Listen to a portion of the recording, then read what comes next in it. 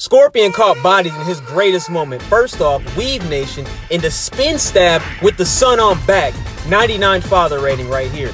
Now listen, if me and my son found my wife, his mom, dead, bloodied, and chopped up, hey Mike, roll the footage for us. I'm doing the same shit. Peep the scream in the red background.